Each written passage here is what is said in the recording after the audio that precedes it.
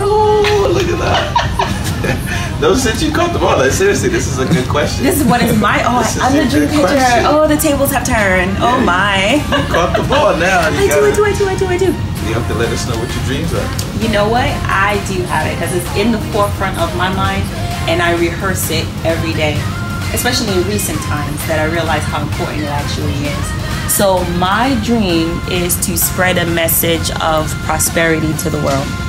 And I believe that I was placed on this earth to be the biggest cheerleader for mankind that they have seen. I mean, you know, I'm not, besides Jesus, besides Jesus, my role is to tell people and remind them how fabulous they are and how prosperous they are and the talents and gifts that they have they were born with.